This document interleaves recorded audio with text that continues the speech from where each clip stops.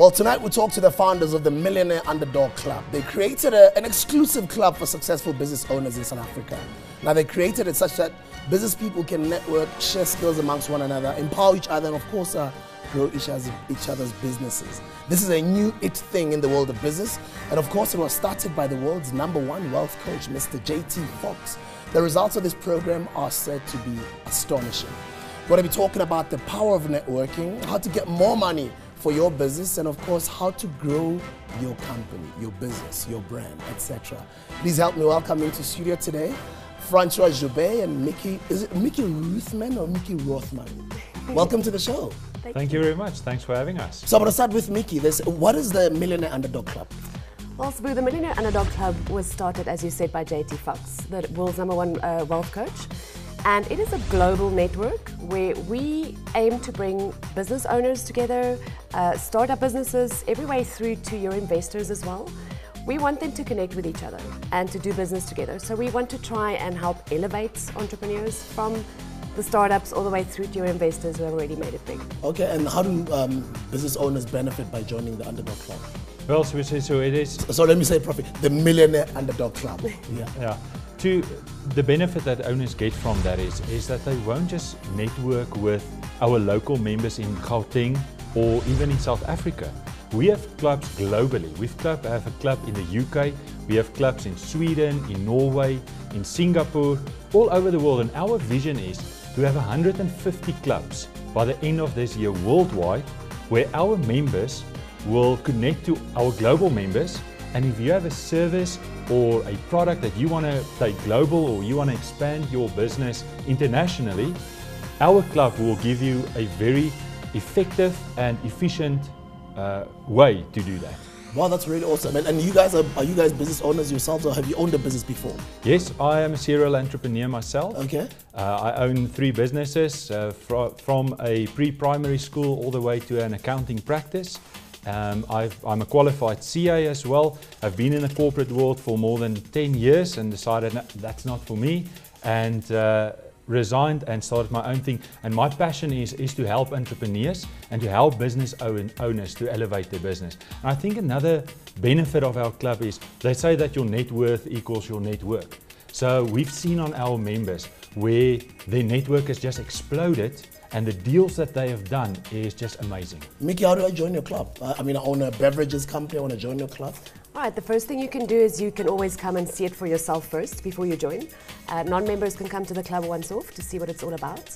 Otherwise, what you can do is to go onto our Facebook page. The link is there for you to join. You can register either for one of the events there, or you can directly contact us to speak to us about joining as a member. All right, and how, we, how do we get in touch with you guys? Uh, Our email address is joburgclub at millionaireunderdogclubs.com. Say that again, please. It's joburgclub at millionaireunderdogclubs.com.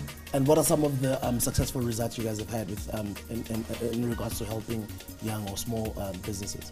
Well, we actually had another event last night where, uh, where our members came together as well as non-members, and we had quite a lot of feedback and testimonials that came through from especially business owners that were looking to join in joint ventures with bigger owners or even suppliers.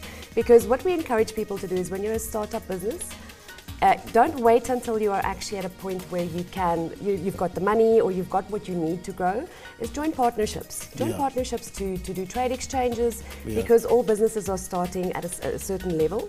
So we've had quite a lot of feedback from our members saying that they have done joint ventures with other members or they met somebody on the night that mm. is the specific person that they need. Yes. And we love to say it takes one person, one opportunity, and one chance for, for your business to grow. And then tell me here, you know, I interact with a lot of entrepreneurs all the time. I interview entrepreneurs on the radio side, on the television side. I've been an entrepreneur for the longest time myself. And there's key things that most entrepreneurs um, face as a challenge, especially young young entrepreneurs. What would you say, uh, based on your interaction with a lot of these entrepreneurs, has been the one biggest challenge of um, African young entrepreneurs? The one biggest challenge that we that our members uh, say that they face is really to to get that right connection. Um, they they spend a lot of time to find the right connection to make that um, that, that deal. And with us at the Millionaire Underdog Club, we've got various and, and diverse people and businesses.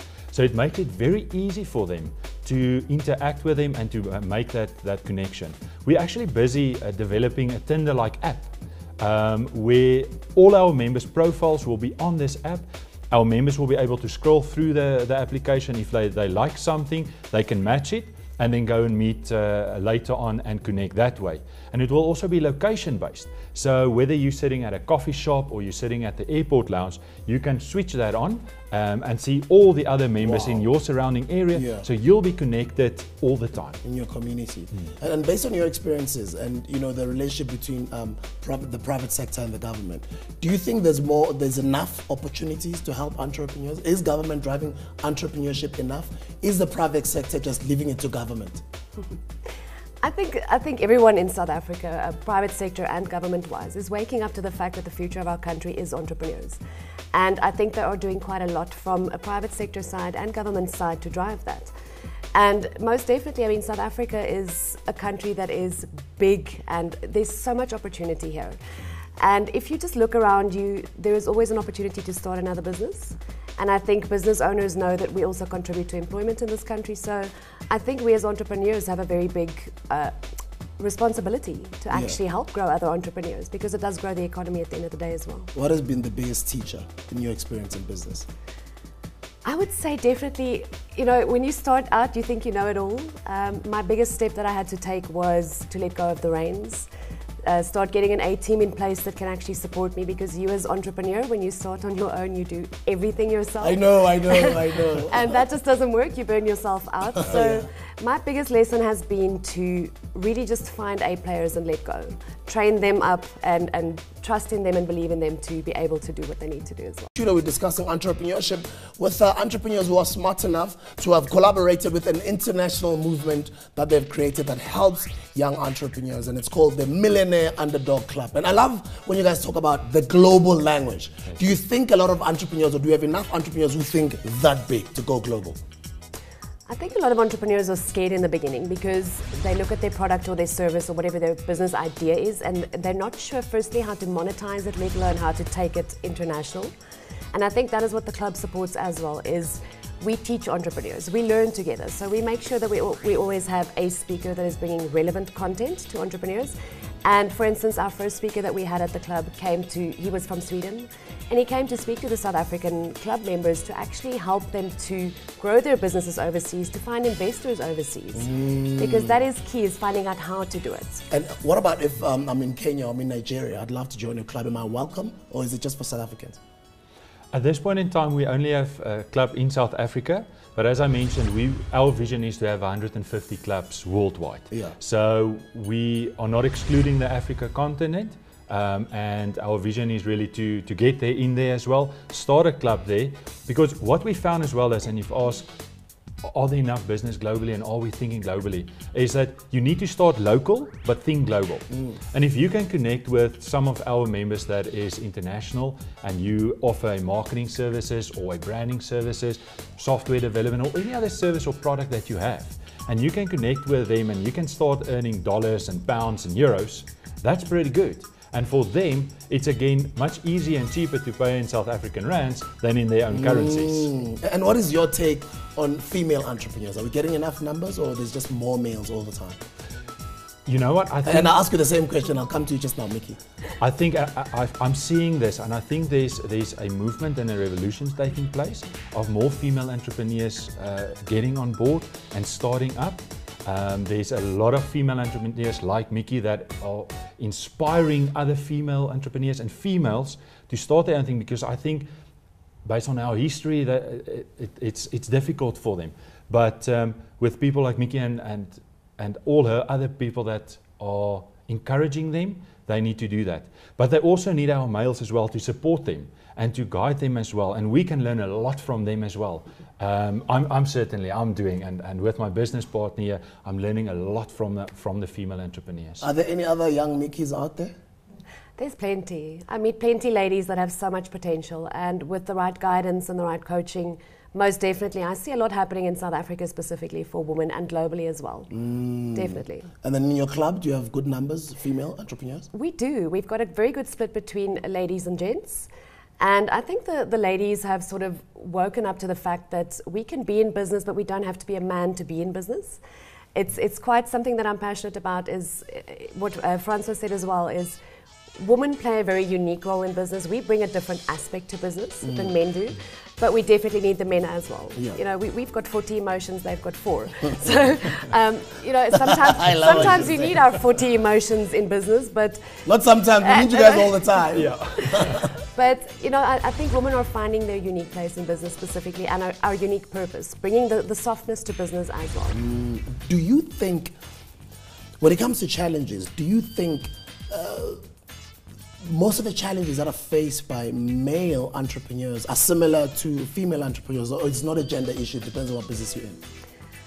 I don't think it's a gender issue, but there are definite issues that I think most females face that the gents might not face. Mm. Uh, for instance, because a lot of people, sorry to come in there, a lot of people say females face more challenges than men do, mm. because in the in the in the business um, um, uh, environment, you find other businessmen who want to take advantage of younger um, um, growing female entrepreneurs because they look good and, and they start having, you, you've got issues like men wanting to meet in the evenings, for instance. And the poor lady is probably engaged or she's married or she's not even interested in, a, in that type of a relationship. She just needs help or she needs mentorship or she needs a contract or she just needs a meeting. And those types of challenges, as far as females and males are concerned. Most definitely, I think ladies deal with it quite often, but I have heard of some of the gents that deal with it as well in business, funny enough. But that should not stop anyone from going into business. Yeah. If anything, if you can find a coach that can guide you, I mean, that's somebody you can phone to just sort of say, this is the situation, I mean, how do I handle it? Yeah. And I think the longer you're in business, you kind of learn how to deal with those kinds of things as well. And, and Francois, I find that a lot of young entrepreneurs today, especially nowadays, they want it now, which is a good thing to want it now, guys. I also want it now, but I think a lot of us, we miss understanding that it's actually a marathon, not a race. And a lot of the guys that have plugged into uh, the Millionaire Underdog Club. How, how, does, how does your club help them understand the journey of entrepreneurship that it takes time? Mm. It's, it's 100% right that you say, and I think I was there in that position as well. Um, I, wanted it, I wanted it now, but my business coach taught me that, that life is on a gradient scale, and you have to go through the processes of, of, of getting there. Um, and I always compare it to, to a baby. Baby don't just get born and walk. They need to get their stability, then crawl, then walk, and then run afterwards. So what we do in the club is specifically we look at speakers that can add value to our members, that can take them through this journey on, on, on different kind of things. Um, some will be a, a mindset uh, speaker that we get, so that you get your mindset right. Other speakers that we get in will have practical examples on how to do that. Um, if you are struggling with a particular aspect in your business, for instance, hiring the right personnel. Yeah. Yeah. Um, they will come in and speak to our members. And our members, which is excellent, the speaker don't just come in, speak to everyone and then leave. He's got a private session after his talk to our members exclusively where they have a Q&A session where they can ask him specific questions and he answers them. My last question quickly in 30 seconds. Now, I'm a social entrepreneur and I'm passionate about empowerment. How do you help your members build purposeful businesses rather than just chasing profits? Purposeful businesses, yeah. I would say start with your why. Find your why, find your passion, find that thing that switches you on in the morning and makes you feel this is what I need to do. Because when you're chasing your why, the money will come by itself. Mm. Francois? Yes, I want to add to that is don't do it for the money. Do it to add value to other people. The more value you add to other people, money will take care of itself. If you take care of your customers, your customers will take care of your profits. I'm already seeing that young entrepreneur sitting at home watching. What do you mean I shouldn't do it for the money? Isn't it called business? Isn't it about money? yes, it is about money, but if it's about purpose, you connect with people forever because you're impacting their lives and they see more reason why they should support your business other than the next Joe down the street. So uh, keep pushing those businesses. Guys, thank you very much for joining us. Thank you Thank you. Wishing you guys well with um, your entrepreneurship journey. And many thanks to Francois Joubert and uh, Mickey Roothman, the founders of the Millionaire Underdog Club.